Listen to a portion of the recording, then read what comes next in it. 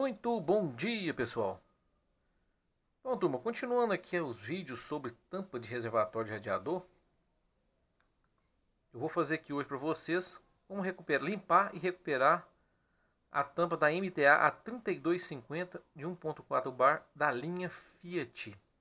Esse aqui vai ser somente da linha Fiat. Eu fiz um vídeo dessa tampa aqui, que é também da Fiat, só que essa aqui quase que é compartilhada com a GM. Então, são poucas diferenças. Então vocês podem notarem que essa tampa aqui é diferente. Então essa aqui é de um Gran Siena, motor 1.6 16 válvula que eu estou fazendo. Então tem muitas outras tampas que usa é, muitos outros carros que usam dessa tampa aqui da linha Fiat. Então tinha feito dessa, agora quero fazer aqui para vocês. Antes de mais nada, eu quero deixar bem claro que essa tampa aqui é um pouco mais complexa você pode estragar ela aqui facilmente do jeito que eu vou fazer aqui. Por que, que eu falo? Porque o sistema de travamento dela aqui, ele é, mais, ele é mais forte, só que se você quebrar, você costuma quebrar ela aqui, as travas dela, então ela não vai travar é, direito. Vai ficar bamba. O, o travamento dela aqui ficou um pouco frouxo. Então a gente puxa assim, ela solta. Ela está soltando lá, só que a, a, lá no reservatório de radiador, ela funciona perfeitamente na hora que dá o aperto. Então, eu quero deixar bem claro para vocês que você pode estar tá fazendo o que eu estou fazendo aqui, pode perder a tampa, vinha perder a tampa. Ou também, na hora de tirar aqui, você trincar essa parte da tampa aqui e vier perdê-la. Eu não quero que isso aconteça, mas infelizmente nós corremos o risco de, de acontecer isso, tá? Então, antes de fazer o vídeo aqui, eu quero, é, quero deixar bem claro, eu já tirei isso aqui antes, eu tirei de outra tampa e aconteceu da trava ficar pampa, frouxa. E uma de outras tampas aqui também, o mês trincou um pouco aqui, mas não chegou a perder. Tá bom, turma? Então, para você recuperar essa tampa, o que acontece? Então, como o sistema dela é diferente da outra aqui, você tá, tá vendo aqui esses dois anelzinhos aqui? Esse aqui, ó. Esse aqui é o anel original que estava nela, um anel que já ficou quadrado aqui nessa borda dele aqui ficou quadrado, então de tanto uso então você tem que fazer substituição desse anel se caso a Sul não estiver vedando com a vedação ruim. Como você vai saber que o anel está ruim? Você vai ver que ele aqui está quadrado e ele está mais flexível. Assim que você passa isso aqui, ó, esse movimento com o dedo aqui, você consegue puxar ele tipo um elástico. Aqui, ó, deixa eu mostrar aqui para vocês. Aqui, na, aqui na, eu não vou tirar aqui, porque na hora que o rapaz me vendeu o anel de vedação, ele já deixou lá, então eu não vou deixar aqui para não relaxar ele. Vou deixar aqui de uma vez para não relaxar ele. Então esse aqui que é o anel original custou cinco reais em casas de vedação. Aqui onde eu moro não existe, não, não tem essas casas de vedação. Eu, geral, eu geralmente compro em Belo Horizonte, aqui no estado de Minas Gerais, capital mineira. É onde eu compro essas, esses anel. Então custou cinco reais, eu comprei dois. Que se aparecer outra tampa dessa mesma situação, eu faço a substituição aí. Beleza, turma? Outra coisa, nós vamos precisar, claro, aqui da vaselina para fazer a lubrificação, tá? Depois da tampa é, desmontada.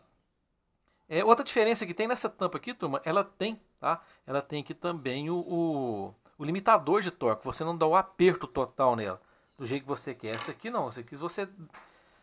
É, de repente o aperto que você dá lá, depois fica até difícil você tirar, porque ela não tem o limitador de torque. Essa aqui, a 3250, tem o limitador de torque. Então, turma, vamos começar a fazer a manutenção. Como eu já tinha tirado aqui, de, de, é, talvez a minha aqui seja mais fácil tirar, porque eu lubrifiquei as travas dela com vaselina para na hora de fazer o vídeo aqui não não dá é, não dá muito trabalho. Então é o seguinte, aqui para você tirar ela, você vai ter que achar o ponto aqui, ó. Então a gente vai tirar, colocar aqui a chave nesses, nessas, nessas, é, nesses furos que tem na tampa e é onde você tem que fazer força para tentar ir tirando. Então não é toda hora que você consegue tirar. Então você vai, coloca, ó, tenta tirar, se não sair, você vai girando aos poucos. Tem um ponto aqui de, da trava aqui que ela sai mais fácil. Olha que quase que ela saiu. Ainda não saiu. Vamos tentar de novo. Então esse movimento aqui é onde você pode tá quebrando a sua tampa, tá? Mas tá vendo? Você vai forçando aqui e ela quebra. Então tem que abrir o olho aí, turma, com esse negócio aí. Aí, ó. Agora soltou, tá vendo? Aqui, ó, tá vendo, turma? Onde você vai rodando ela aqui, ó, tem ponto que você pega aqui, você vai pegar em falso, ó. Então você vai girando, tá vendo aqui, ó? Aí na hora que você pega nesse ponto aqui, é onde você consegue tirar ela com mais facilidade. Entenderam aí como que é aí? Então, por isso que eu, te, eu, tô, eu deixei bem claro aí, porque tem que ficar girando ela. Claro minha que eu lubrifiquei com vaselina. Essa aqui que eu vou fazer o vídeo para vocês. E ela saiu mais fácil da primeira vez aqui eu custei tirar. Agora vocês podem notar que aqui ó, tem um, dois, três, acho que é quatro, quatro pontos, deixa eu ver, dois, é isso mesmo, são quatro pontos que você vai enfiar a chave de fenda aqui ó, pressioná-la e empurrar para fora aí ó. Vamos ver se eu consigo tirar aí.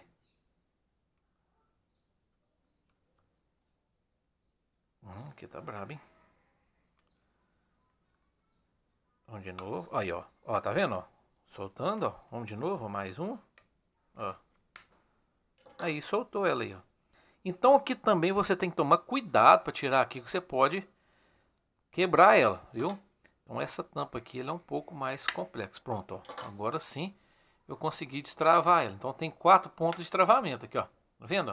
É esses pontos aqui que vocês têm que pressionar eles, vocês estão vendo aí direitinho, então tem hora que eu fico falando e não vejo o que, é que eu estou gravando. Então esse ponto aqui você tem que pressionar aqui com a chave de fenda e tira. Tira normalmente aí. E aqui tá a molinha. Aí agora é só prestar atenção na sequência, ó, vai tirar a trava, vai tirar a molinha, vai tirar essa vedação aqui também, juntamente com a outra molinha. Então, que igual eu já falei nos outros vídeos, o que estraga muito é a sujeira, ó. ela tem sujeira, Pode tirar, aqui soltou, turma, soltou a, a, a molinha do, do da, da, borracha de vedação aqui, ó. Tá até agarrando aqui de tanta sujeira que tem. Apesar que essa aqui não tá muito suja. É, esqueci de falar com vocês, né, turma? Tinha que ter falado isso primeiramente aqui, né? É, se tiver muito suja, a minha aqui não tá, essa aqui não tá muito suja.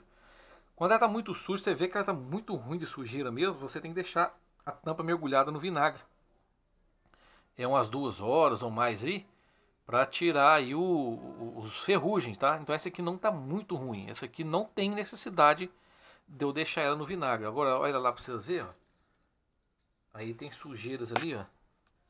Então, a maioria das vezes é isso aqui mais é sujeira, olha lá como é que tá. Tem crostas e mais crostas de sujeira ali, ó. Mas eu já peguei tampas aqui da, da dessa outra linha aqui da dessa Fiat aqui, dessa amarela aqui, ó que Deus me livre, o trem estava horroroso. Mas mesmo assim, esse aqui não deixa de ter uma sujeirinha. Ela tem sujeira, aqui também tem sujeira. Então eu vou passar ali pro tanque agora, pra gente, olha aqui pra vocês verem como que tá, tá sujo aqui, ó. É, essa ponta aqui de, de borracha, tá vendo aqui, ó? Isso aí que atrapalha a, a, a tampa, o funcionamento da tampa, ó, tá vendo? Olha aí, o raspando com a de fenda, ó. Aí como é que é a situação? Então, isso aqui o que acontece? As pessoas não usam o aditivo radiador, o sistema fica enferrujado, aí a evaporação da água junto com o ferrugem vai jogando aqui na tampa para fora um pouco de vapor e fica essa sujeira louca que vocês estão vendo aí. Que essa aqui no caso não está tão desgraçada ainda, dá para recuperar ela. Lembrando, é claro também que você tem que comprar um anel de vedação se caso o seu estiver ruim. Outra coisa também que pode dar defeito são as molas, se as molas estiverem trincadas. Essa aqui não tem um problema de, de, de ferrugem, ela pode enferrujar, pode vir a, trincar, a, a quebrar, partir. Aí não vai ter a vedação correta dessa tampa, beleza, turma? É, é eu vou preparar aqui para mim lavar ali, é coisa simples de lavar, mas eu vou mostrar aqui para vocês. É no tanque. E eu vou só pausar o vídeo aqui, já já eu já volto. Bom, turma, começar a lavar aqui, vamos começar a lavar aqui mesmo com um, um pincel, uma escova. Vamos ver aqui se a pincel e a escova tira essa ferrugem. Se não tirar, você entra com outro material, tá? outro tipo de, de... Pode ser uma coisa boa que vocês podem estar limpando aqui é o bombril. O bombril também limpa bastante. Então esse anelzinho aqui é importante demais limpar ele. Tirar toda a sujeira que está nele aqui, porque a vedação se faz muitas vezes aqui desse anel. Então vamos limpar ele, limpar bem limpinho, vamos lubrificar. Então aqui com a escova eu estou obtendo êxito. Já nessas peças de plástico aqui, geralmente aí ela fica sujeira lá. Ó. Então vou ter que raspar aqui com a chá de fenda. Ou então, ó, preste atenção aqui, eu vou pegar um bombril.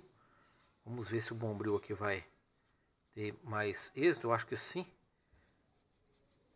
Então tem essas peças de plástico aqui, o, o, o ferrugem gruda nela. Assim, hora eu estou conseguindo limpar, mas mesmo assim eu vou ter que fazer uma raspagem aqui com chá de fenda, porque ela não está limpando 100%. É aquilo que eu falei, tinha que ter, eu tinha que ter deixado às vezes, mesmo estando, não estando muito sujo, mas é, é, a vantagem do vinagre é essa, de deixar de molho no vinagre, porque na hora que você vai fazer a limpeza aqui, a sujeira já está amolecida. Então você limpa mais fácil aí, deixando a tampa mergulhada no vinagre. Mas aqui vai dar para fazer. Eu deixo aqui um pouco de, na água aqui. Então essa tampa aqui também é bom você passar o, o, o bombril. Passa primeiro a escova aqui, ó. Tá vendo esses pontos aqui, ó? Então a escova aqui não vai limpar legal. Então eu vou fazer aqui, ó. Com bombril. E é isso. Isso aí vocês entenderam, né? Olha lá como que já tá dando outra cara ali na tampa, ó. Tirando toda a sujeira aí. Beleza, turma? Então vou limpando aqui. Onde que dá, dá para ir pro pincel, vai com pincel. Tem pincel também, ó. Tem ali no fundo ali, ó. A gente tem que ir limpando isso aí, tá? Tem que tirar toda essa essa crosta de ferrugem que vai juntando ela aí. A mola também é a mesma coisa, você pode passar bombril na mola. Então isso aqui é capricho que vocês vão ter aí é, de acordo com o material que você vai usar na limpeza aí. Tá bom, turma? Eu vou dando capricho aqui na sequência, depois eu volto mostrando para vocês.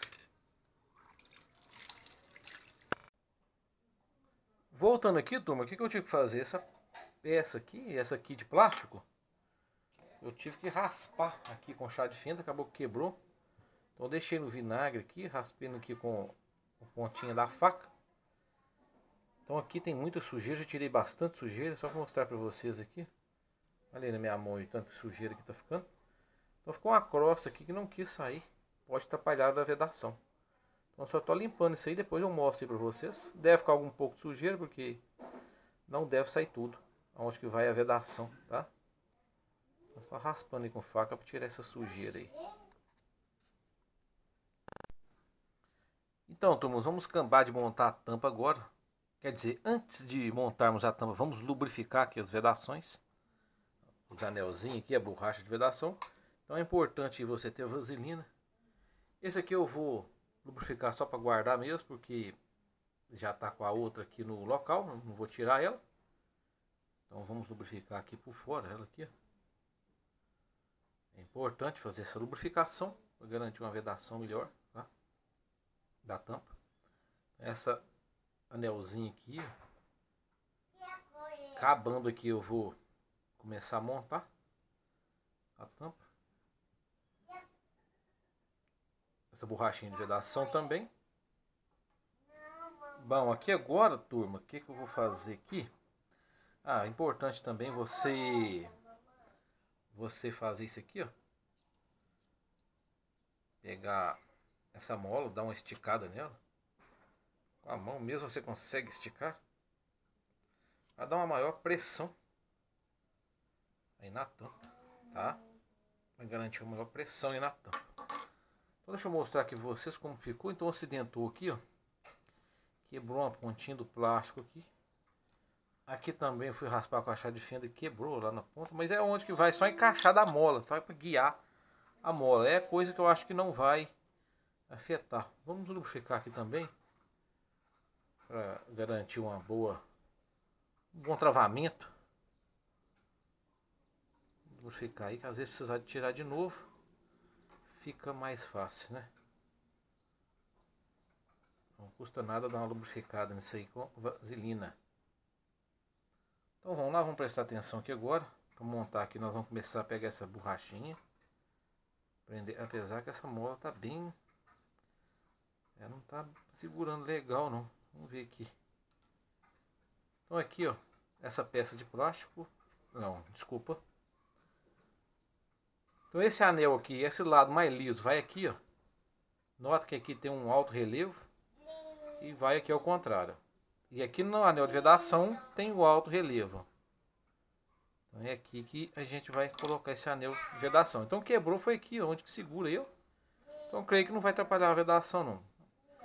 A borrachinha aqui na ponta aqui, ó, tampando. E agora nós vamos colocar lá, ó. Essa mola tem que ir encaixada ali. Aqui eu tô vendo que ela tá toda encaixada. E agora é hora de fazer aqui ver se tá vedando. Então com a boca você vai colocar aqui, ó. Tá vendo, ó? Eu vou estar com o dedo aqui, ó. Eu tô fazendo pressão, ó, segurando para ver se está segurando a vedação. Então é o primeiro teste que você tem que fazer aqui, é para ver se tá se tudo aqui você não está montando errado. Tá bom? Então aqui agora nós vamos montar a válvula, colocar a mola. Primeiro nós vamos montar a válvula, então é, vem aqui, ó. ó. E aí você vê o encaixe certinho. Pronto, montado. Da agora você pode fazer com a boca aqui de novo. Tá tudo vedadinho. E agora é só a gente montar aqui, ó. E essa aqui ficou bem seguro, bem firme. Ao contrário de uma outra que eu tinha feito aqui, que ela ficou soltando. Então, turma, para a gente finalizar agora, tem que testar no carro. É só o carro chegar aí, eu vou testar ele. E mostrando aí para você a limpeza e recuperação aí dessa tampa aí da linha Fit. Tá bom, turma? Então até daqui a pouco esperar o carro chegar aí. Bom, turma, então como prometido aí, ó ventoinha acionando. Já é a segunda vez que ela aciona aqui. Vamos ela esperar ela desarmar aqui para mim desligar o carro. Então essa aí é a tampa que eu troquei o anel, fiz a limpeza dela. E essa aqui é a tampa desse carro. Esse carro aqui, turma, é um Fiat Mobi. Que é 2021 ou 22, não sei o ano dele. Olha lá, a ventoinha desarmou, então perfeito, ó. Se caso tivesse dado algum problema, podia ali acabar que derramava ali, né? É a a água aqui do radiador. Mas enfim, é isso aí, ó. Tudo certinho aí agora. Bom, deixa eu desligar o carro aqui pra gente terminar o vídeo aqui. Aí, só um pouco.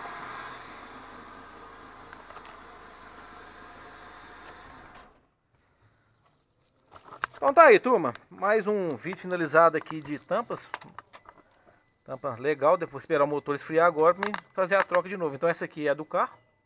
Tá vendo que são iguais? É original ainda. É a 3250 MTA 1.4 bar. Então, turma, basicamente é isso. A reforma aqui, a recuperação da tampa se dá aqui mais na limpeza. E essa aqui é claro que você tem que trocar o anel de vedação. Então esse anel aqui ainda está bom ainda, ó. Quando eu pego ele aqui, que eu faço força nele aqui, ele não está elástico. Esse anelzinho aqui de vedação não está elástico, esse o-ring. Então, essa aqui não precisa de eu fazer, nem tirar ela, não vou tirar. Olhando ela internamente que ela está limpa. Esse carro aqui tem aditivo ainda, então a tampa não suja, não venha dar defeito.